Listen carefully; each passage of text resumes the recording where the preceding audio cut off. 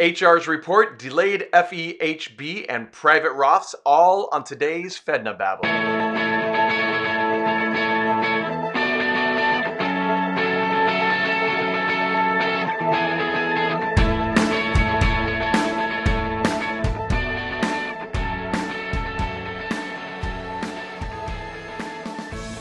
Welcome to today's Fednobabble. I'm Kevin Jones, where we we take uh, federal retirement benefits and make them understandable for people like you in under 20 minutes. And I'm Cassie Knight. We take your questions um, that you've submitted online and that Kevin gets from his um, workshops and webinars, and I get from financial advisors that are from employees, and we uh, answer them on the show and, um, you know, talk about them and just have a discussion. Let's. So, what's the first question today, Kevin? First question is Will you share it? Sure. Will you share? Okay. Subscribe and do all that good stuff. Okay, question number one. is that is HR that... report different than the federal benefits statement? Now, yeah the the HR report that they're talking so in this is this comes directly from the workshop. In the workshop, mm-hmm. I mention a different way to figure out if you're eligible or not, and it doesn't come through HR and the SCD. It comes through okay. filling out a form that goes to OPM, and OPM writes back with a report, or you know, they they they'll email you this report. okay, so they'll email you the report. Are you talking about the certified summary of service? That I am. Okay, well, from what I get from this employee or from the question is the benefit statement and OPM's actual retirement um, report that they provide. That's right. I, I believe what yeah, I believe what this person is saying is the federal benefit statement now, this is something that I mention in our workshops is that when someone comes up and says, okay, the federal benefits statement, the federal benefits statement to one, again, to one agency may be called something different to another agency, may be called something different. You may get it through HR or you may get it through HR website. It really depends. Mm-hmm. So it's all over the place. And here's the other thing there's two separate types of reports Yes. Right? You can get your employee benefit statement from which is typically from HR. Right. And then you can get the um, OPM statement, which is like your retirement estimate. Right. Right. And so there's two separate reports. And that's how I understood it is they were asking about the two different reports. yes. And I do believe that's okay. what it is. Um here here's okay. the issue though. Is that yeah most people think that the federal benefit statement that they get from HR or whatever it's called when they get it mm-hmm. from HR right. is is it. That is what they go off of mm. to try to retire. They don't know about the the report that comes from OPM mm. most federal employees don't have a clue that it actually exists. In fact most HR people don't know that it exists. Oh boy yeah, because they can have very different information. Right. Right. Like I see the employee statements and I see the HR uh, or the OPM retirement statements, and the employee statements simply just have the employee information, right? The different SCDs, um, their current F, uh, FEGLI and FEHB elections. Like it breaks all of that, all of that stuff down. Uh, doesn't always get into the different types of service. It really depends on the, the employee benefit statement that the HR agency provides. Right. But then OPM is just showing um, the, the cost. Uh, it'll show your pension amount based on when you want to retire. And then obviously just the cost as of right now for your current benefits most of the time right? Sometimes it can also give different scenarios if somebody's like, well, I'm going to cancel my FEGLI. So they won't put the FEGLI information right. on there. But that's the thing is they're just going to put whatever you think that might be right that doesn't mean that that's actually what you should be doing because they're not giving you any guidance. right. And it also doesn't mean that um, that's what OPM is going to base your retirement off of. I remember talking to one lady right. who, when she got the report, and she did it before she came to the workshop, which was good because, hard, again, hardly any federal employee knows about this. And so right. she got it from OPM, and she noticed that. So early in her career, she worked in Turkey as a federal employee for seven years. OPM oh. had no oh. record of it. Yeah. None. And, oh, no. wow. and, and she thought everything was just going to be fine, but didn't realize that her, mm. her, her pension and everything else would be based off seven less years. So she had to go back wow. and get all the documentation and try to prove that she had worked in Turkey for seven years. Wow. Yeah. You know, and I see that all the time when people submit uh, when they are when our advisors submit the information for me to build the reports for their federal employees of course i ask them to include any other documentation regarding um, an employee's um, employee's history right whether that's the hr estimate whether it's their employee benefit statement like all of that information right. can sometimes have other information that i need to make sure that uh, the information we're getting back to, or the report that we're getting back to the employee is accurate, right? But so many times I have seen where the advisor is gathering more information or uh, more accurate information than what the HR statement is saying, yep. right? Because they'll have like, oh yeah, I made my deposit for my four years of military military time, but then the OPM retirement statement doesn't even show the military service included in there at all. Right. And so, you know, it people think that that is because it's from OPM that it is the most accurate statement. I mean, if you worked part time and they don't have that factor in there, that could be something that's you know hinders you the other way. And so, um, it's very very important to just have that looked at by somebody um, and you know make sure that it's actually good to go because we want to correct those things before retirement, right? As early as we right. can. So that way people have the time to get that corrected.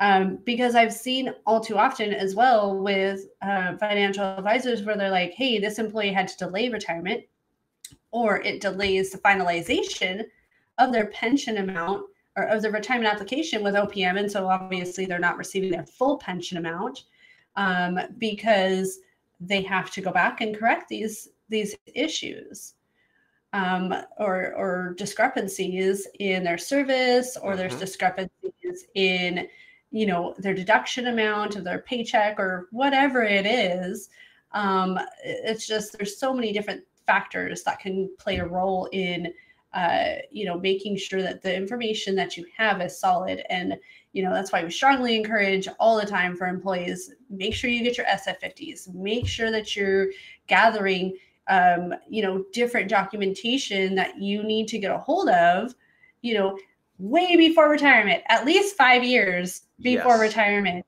Um, yeah. Get that certified summary. Make sure that all of your um, service history is listed on there properly because if there's any discrepancies, again, you've got to figure that out and you know yep. prove to your department or opm or whoever to make sure that that's taken care of um, you know, before before it delays something. Yeah. I remember one one one gentleman he came in and he said, "I got this report 3 years ago. There was a mistake on it, and I'm still battling it. I'm still wow. fighting it 3 years later." So yeah.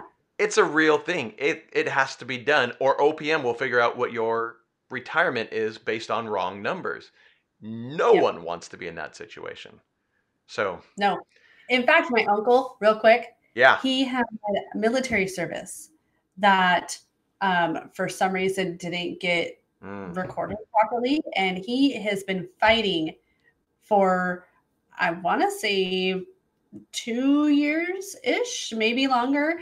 But he's about at the point where he's going to have to write Congress about it because there is absolutely no record Yikes. from the service he had done for a stint of period, a stint of time in the military. I mean, it's not on his DD Mm. 214. And so then it doesn't get over to his federal service. He wants to make the deposit for it. And he obviously can't because there's no record right. of the service time Right. or how much he made, right? And all of the different factors that go into that. And he, I mean, he's been working on this for a number of years. And I mean, luckily he's a ways off until retirement. But could you imagine if he was retiring this year or trying to? That's like right. he still wouldn't be able to because he has to, you know, go through all of these hoops and do all of these things to make sure that that's taken care of. That's So very, so very important. Yeah. Ugh. Yikes. Okay. Question number two. Oh, this is a long one. If you have health care benefits five years prior to retirement, okay, so fulfilling the five year thing, and that's good, but Yeah. do not need to use the benefits immediately because you can be covered by a spouse, can you take that benefit later in retirement when needed? It sounds like what they're asking is can I put off using the benefit? Can I suspend it? I believe that's what they're saying. Okay. Yeah, and I'm gonna say it depends, right? So Doesn't it always? always. So what type of health care does that employee have? Right? Like the not the federal employee, but the employee spouse rather. Um, do they have TRICARE and CHAMPVA coverage, or yeah. are you looking at going on uh, you know, their employer sponsored program? Like what does that look like? Because essentially it boils down to two things. There are only two reasons why you can suspend coverage in retirement. Okay. One is for TRICARE and CHAMPVA coverage. The other one is if you're getting into a Medicare Advantage type plan. Right. Okay. Not original Medicare, not a Medicare supplement, but the, essentially that's why you can suspend your FEHB coverage. Otherwise, you need to stay in the program because you don't want to get to the point where you're canceled because you thought you would be able to jump back in, but you actually can't. Then, hey, don't laugh. This happens. I get know it does. I know. You know, eh, now if they're a federal employee couple, that's a different scenario Yep. Yep. right? That's a premium is. conversion strategy where you can jump from, you know, if a federal employee spouse um, still working and the the federal employee is going to retire, then yes, they can hop onto that federal employee spouse's FEHB and make them primary, and then come back later um, to the other one. That's fine. Right. Um, I actually am working with an advisor right now who's um, there's a federal employee couple. One is going to be retiring from service. Um, I want to say this year or next year.